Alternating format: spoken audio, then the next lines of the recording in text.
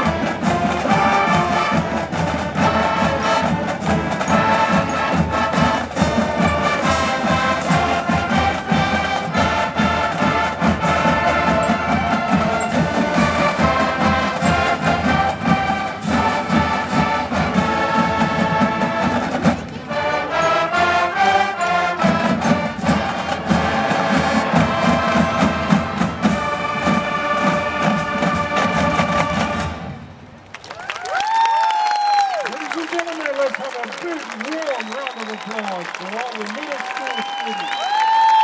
They've done an excellent job tonight.